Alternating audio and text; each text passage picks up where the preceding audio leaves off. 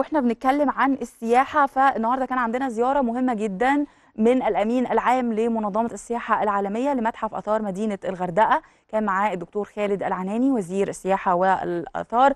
ودي تعتبر الزيارة زيارة الأمين العام للسياحة العالمية الزيارة الأولى خارج أوروبا بعد أزمة آه، كورونا واستئناف السفر والطيران في إسبانيا. الحقيقة إنه آه، الرجل أشاد بجدية التدابير الاحترازية اللي اتخذتها الحكومة المصرية لاستئناف الحركة السياحية لمصر. فبالتالي مهم جدا برضو إن إحنا نستخدم هذه الزيارة ونستخدم آه، ما تم الحديث عنه في مسألة الترويج للسياحة.